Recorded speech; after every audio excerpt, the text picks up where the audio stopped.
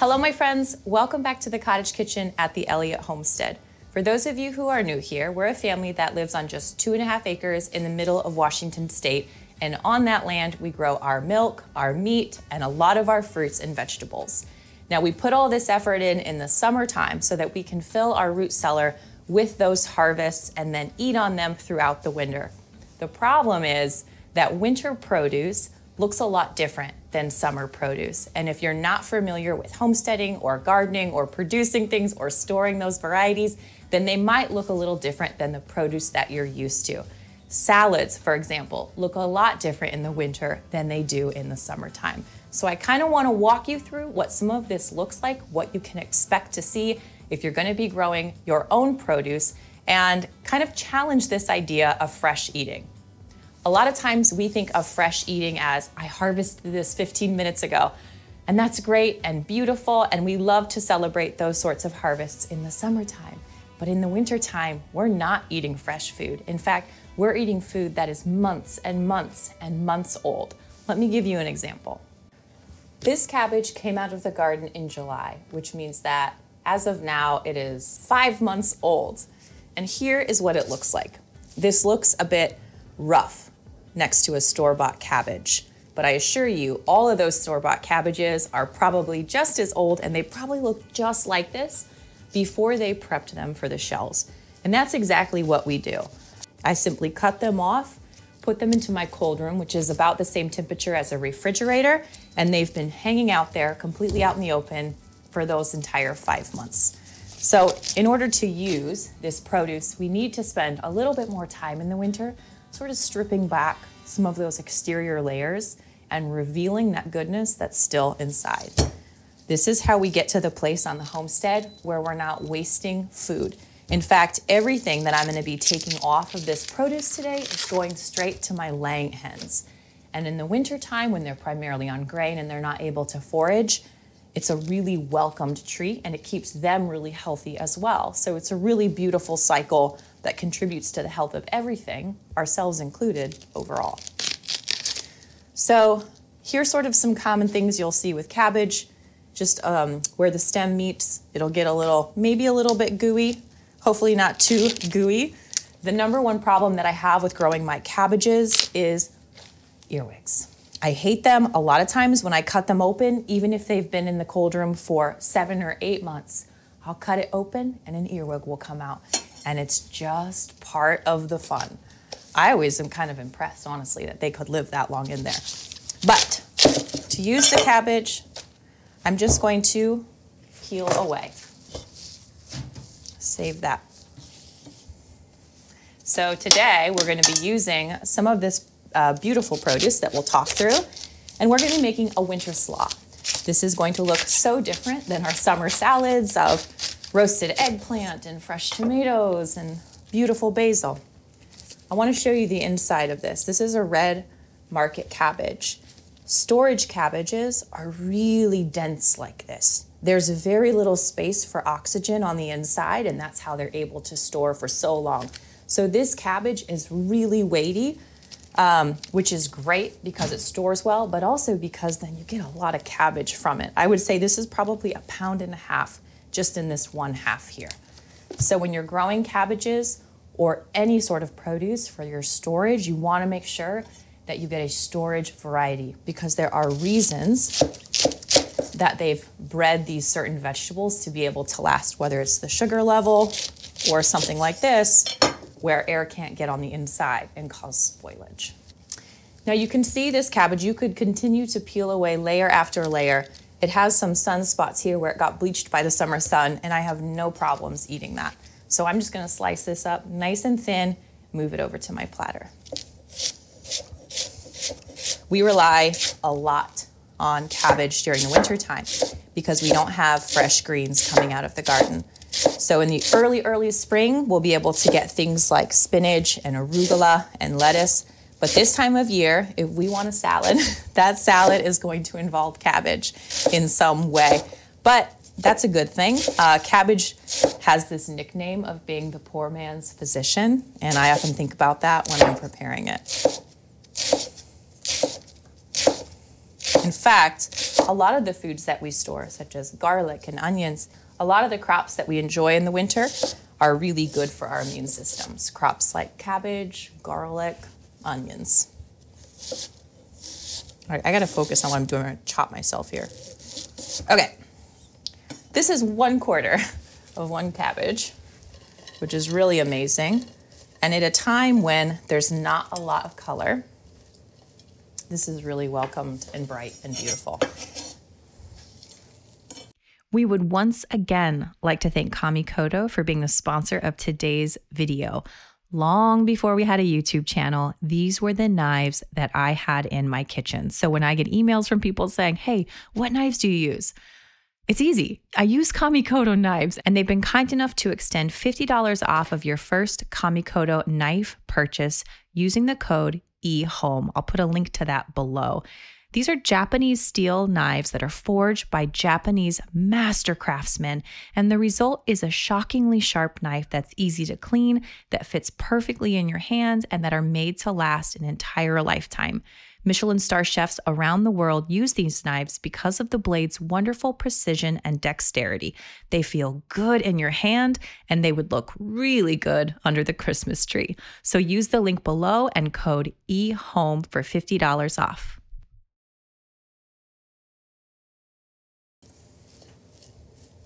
All right, I think that's actually plenty for our salad today. So let's talk about celery. This is another crop that we grow a lot of, and we had a ton left in the garden. I have freeze dried a bunch, dehydrated a bunch, and I still had a lot left.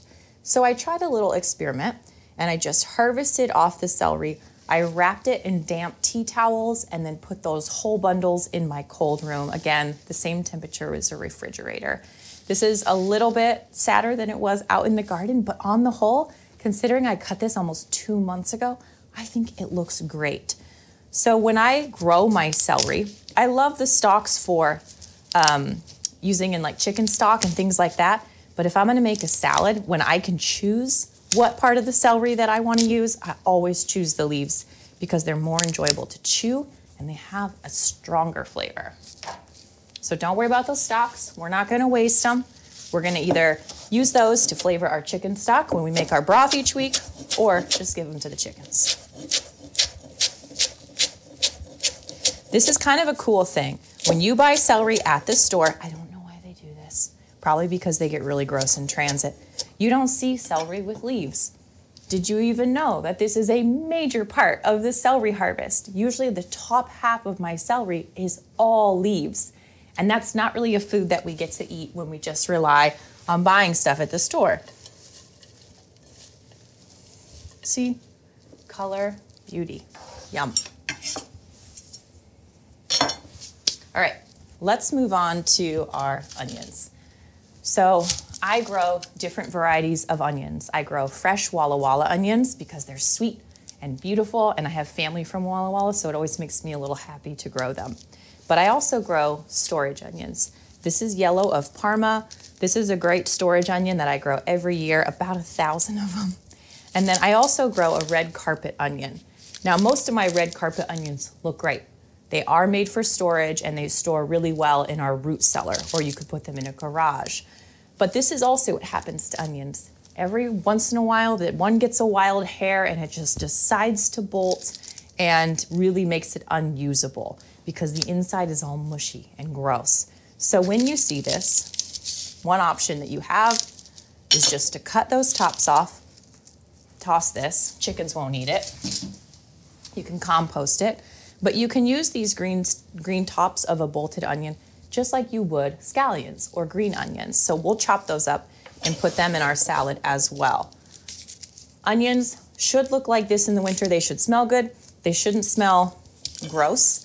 And in order to sort of keep on top of my onions once a week, I have to just go through, look at everything, make sure none are rotting because inevitably they will. I would say in our root cellar, we probably end up with about a 10% shrink, meaning 10% of the onions, even though they're made for storage, don't actually last through the next summer. But what's amazing about onions is that 90% will, which means that we're gonna be eating on last year's crop all the way up into July or August when we harvest the next one. So this is still moist and beautiful on the inside. We're gonna add that to our slaw.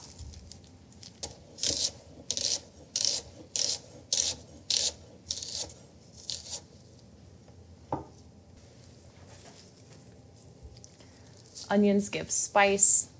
This is a sweet onion, so it gives a little bit of sweetness. They give a really good texture, a really good crunch.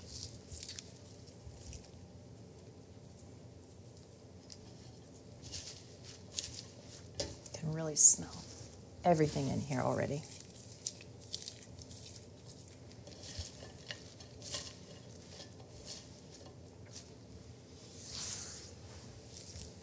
What I love about a strong salad like this, it's strong with that stiff cabbage. It's got really fragrant celery and those spicy sweet onions is that it really holds up well next to a bold meat. So if I cook a beef roast in the oven in a bottle of wine with some balsamic vinegar and all these warming herbs, it needs something to contrast that. And that's exactly what a salad like this does. I think it's the perfect harmony between those winter meats and winter salads.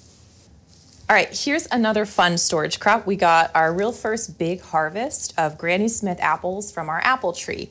And these are our great storage variety. I keep them in a lug in our cold room, again, um, about the temperature of a refrigerator. Now, I pulled these off about three months ago, and you can see the skin is just sort of warbled a little bit. You can tell this isn't a fresh apple. So you might not just want to eat it like you would a normal apple, but it's the perfect apple for just chopping up fine and adding into a salad.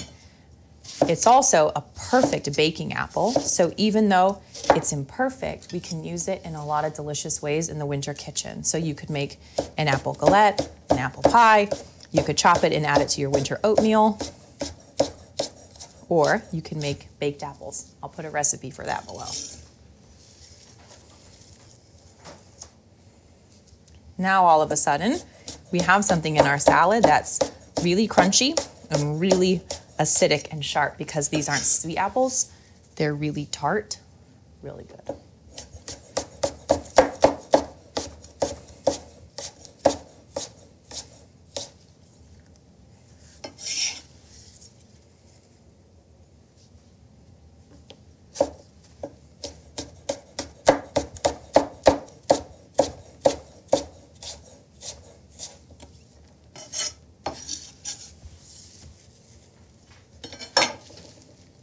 Look how pretty that is. So pretty.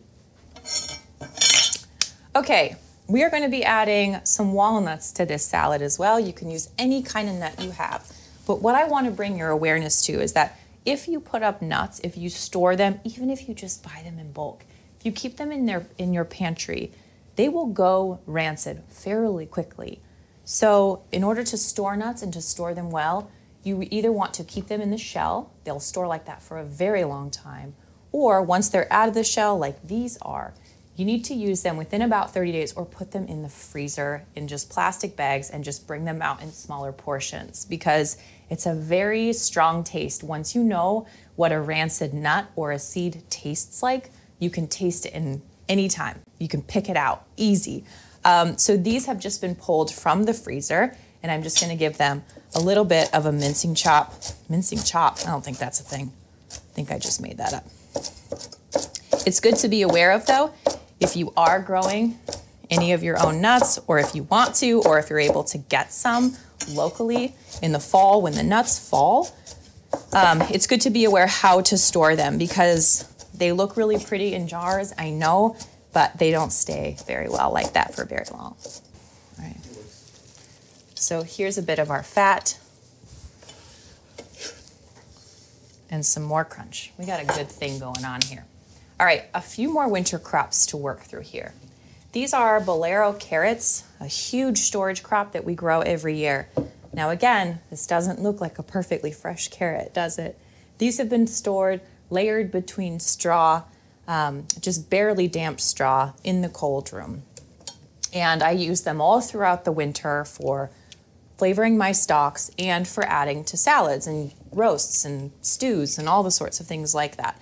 And in order to do them, you just have to deal with the dirt, wash them, And then once you peel off that older exterior,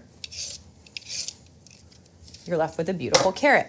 Now what you'll find is that as the winter goes on, the carrots get less and less sweet. So when you first pull them from the garden, they're magnificent. But they just stay like that for a fairly short period of time. And then as they store, they just sort of lose that sugar, which all produce does as you store it. Everything's the sweetest straight when you pull it from the garden. But still beautiful to use.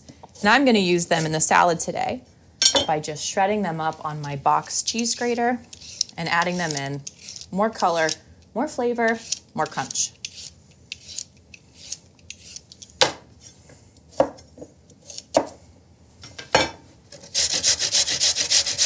Along with losing a little bit of sweetness, you'll notice that as carrots age, they lose a little bit of moisture as well. So starting in the winter, your carrots are going to stay fairly moist, uh, fairly watery when you grade them like this. But then as time goes on, they do tend to get a bit drier. It's just part of the process.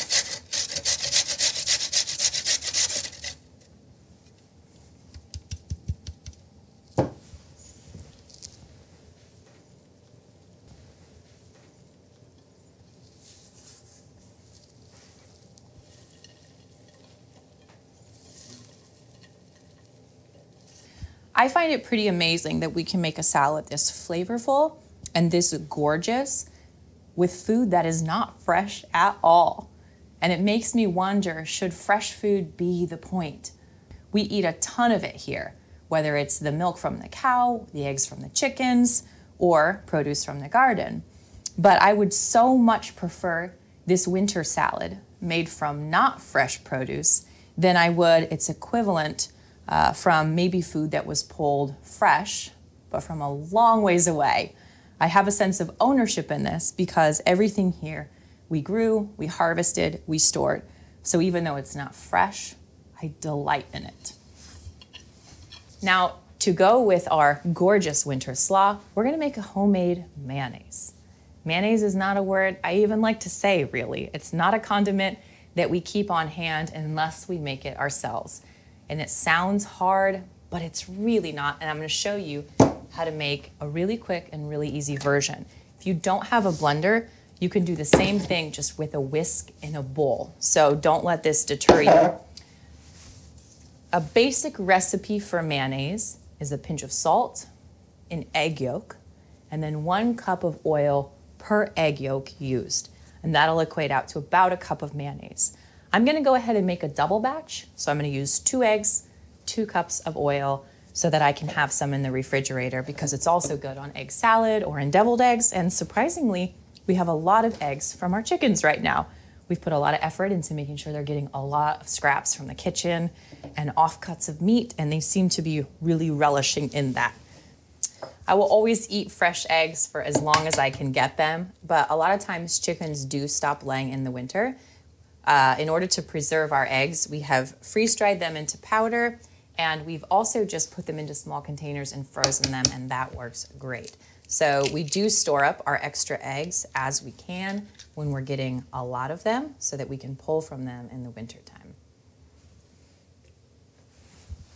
Now we are going to be relying on a few fresh things. These are fresh eggs. These were just laid today by my chickens. And because we're not going to be cooking our mayonnaise, obviously, you want to make sure your egg, egg yolks are nice and fresh.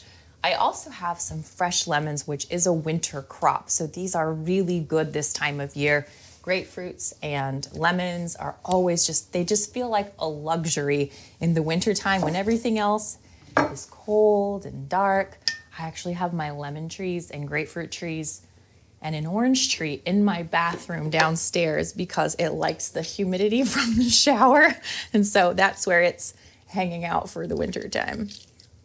So I like lemon juice in my mayonnaise. I find it just sort of cuts it. Actually, better do too because I like it. You could use vinegar if you don't have good lemons or if you like the flavor. Okay, we are going to rely on another storage crop, which is garlic. We put garlic in every year and we harvest it. You will find that as the garlic ages, it does tend to have cloves that go a bit off. So if you can see me pressing on this clove, this is hard and firm and that clove is still good to use.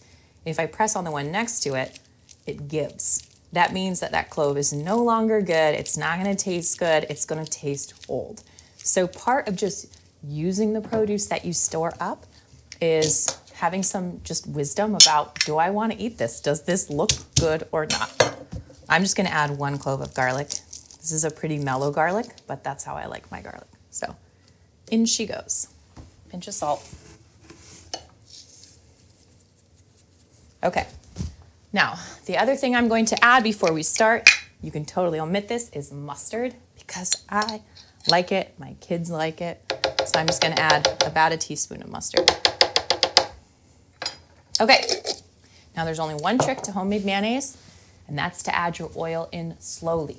I'm talking like as little as possible, drip by drip at the beginning, and that's gonna help the egg yolk to sort of unify and keep the sauce from breaking, meaning separating the yolk from the oil. We want them to become homogeneous and mixed together, and we do that by going slow. So you're gonna have to just get patient, all right? Now, if anyone knows where my blender lid is, I would love to know, because I sure can't find it. So I'm gonna be substituting in my copper lid here, I guess. I'm gonna be using olive oil. Um, this is really the only oil that I use in my kitchen. This is what I like. I buy it constantly, and um, until I can grow olives here, which is never going to happen, I'm super grateful for good imported extra virgin olive oil. Here we go. So first it's going to break up that garlic clove. Now we're going to drizzle in slowly.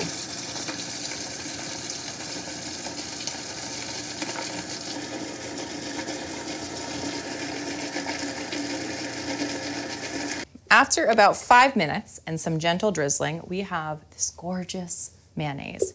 Now, mayonnaise is typically not thought of as a health food, but you guys, I'm gonna challenge that because we have really good olive oil, health food in my book, egg yolks, another health food in my book, some mustard, fresh lemon juice, fresh garlic, and salt.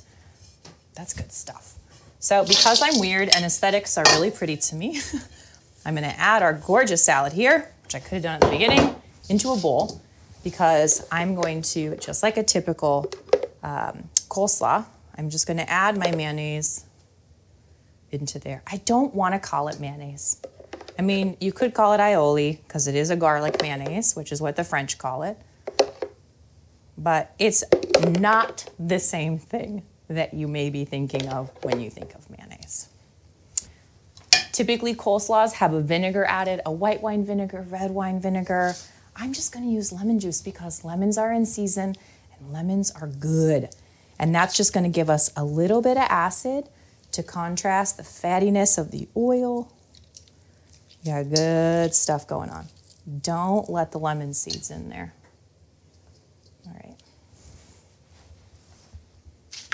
I talk about this all the time in my cooking community, but cooking is so much about creating contrast. So you have this soft, gorgeous dressing against crunchy and fresh vegetables.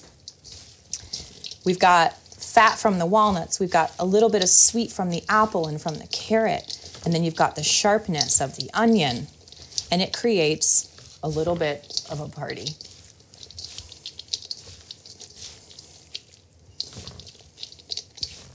It can be really easy to think of winter foods as some sort of a compromise, like something we'll settle for when we can't have the best of summer. But really, I think that's just a lack of knowing how to prepare things in an exciting and good way. Because the winter, even when our produce looks a little less than perfect, has a lot to offer the kitchen.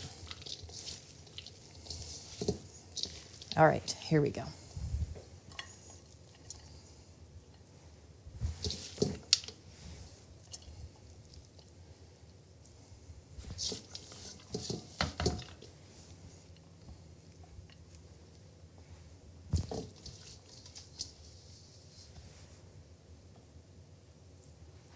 If you're gonna grow your food in any capacity, you have to learn how to use up the weird bits, whether that's harvesting an animal and maybe learning how to cook a piece of meat that you're not familiar with, or learning how to use up produce that might look a little ugly, that might even look a little bit old, and really making it shine in the kitchen. It's part of that growth process, it's part of that joy process.